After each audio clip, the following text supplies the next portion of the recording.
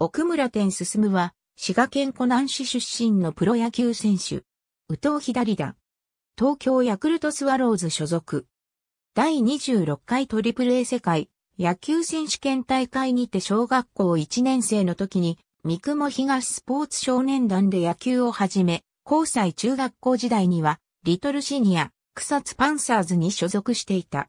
中学校の同級生に、西村亮がいる。中学卒業を機に、地元の滋賀県を離れ、日本大学山形高校へ進学。1年生の春から正二塁手に起用された。首相を務めた3年夏には、1学年後輩の中野拓夢とに勇敢を組み、選手権全国大会へ出場すると準決勝にまで進出。自身は全4試合で4番、遊撃手で先発出場、11打数3安打3打点、打率273という通算成績を残したほか、日大三高との2回戦では本塁打を打っている。さらに、大会後の8月に開かれた第26回18 U ワールドカップにも日本代表の一員として出場すると、大台湾戦とチェコ戦で敵地打を記録。日大山形高校の選手として最後に出場した東京国体では、対前橋育英戦で迎えた高校最後の打席で本塁打を打った。2013年の NPB ドラフト会議で読売ジャイアンツに4巡目で指名され、契約金4000万円、年俸540万円という条件で入団した。背番号は91。読売ジャイアンツ時代ルーキーイヤーとなる2014年には、7月17日のフレッシュオールスターゲームにイースタンリーグ選抜の一員として途中出場した。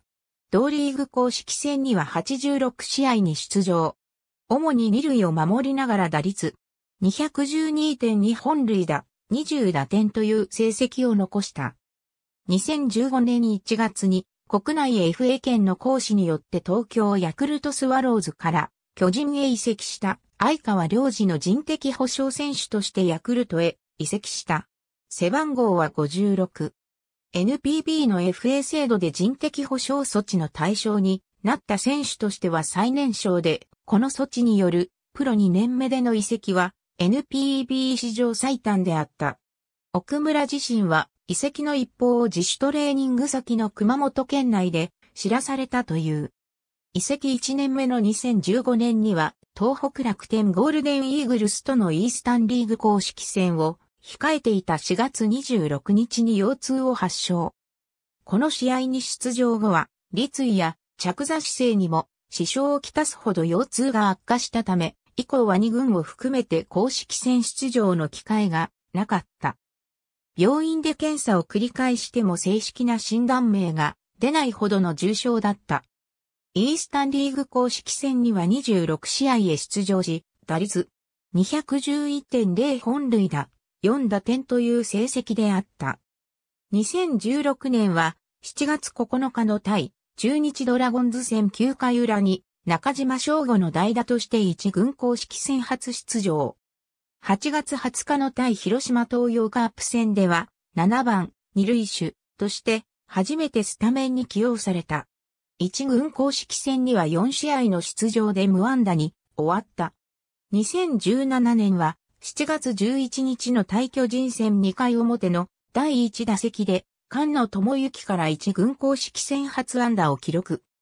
7月13日のフレッシュオールスターゲームには、イースタンリーグ選抜の一員として、自身2度目の出場を果たしている。後半戦以降一軍に定着し、一軍公式戦では通算で44試合に出場。打率239.4打点、1盗塁を記録した。シーズン終了後には台湾で開かれたアジアウィンターベースボールリーグで NPB イースタン選抜の一員として出場。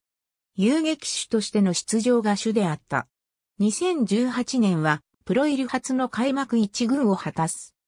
7番、二塁手としてスタメンに起用された10月4日の対阪神タイガース戦では同点の9回表西で迎えた打席でラファエル・ドリスから一軍公式戦初本塁打を記録。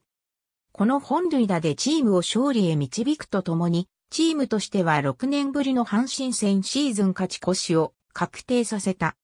一軍公式戦では主に代打で起用されたが、前年を下回る32試合の出場で、通算打率も222とどまった。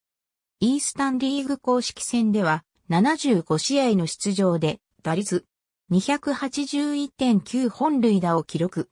シーズン終了後の11月には、翌2019年から背番号を00に変更することが発表された。2019年は、西浦正徹の故障や広岡博士の不振の影響で、主に遊撃手として出場。自己最多の74試合に出場したが、打率は199にとどまった。2020年は1月22日に高校時代の同級生と結婚したことを発表。しかし、シーズン開幕前の春季キャンプ中に下半身のコンディション不良を訴え途中離脱。3月12日に右膝の手術を受けた。11月1日の北海道日本ハムファイターズとのイースタンリーグ公式戦で実戦復帰したものの、2015年以来5年ぶりとなる一軍出場なしに終わり、イースタンリーグ公式戦にも前日の1試合のみの出場に止まった。ありがとうございます。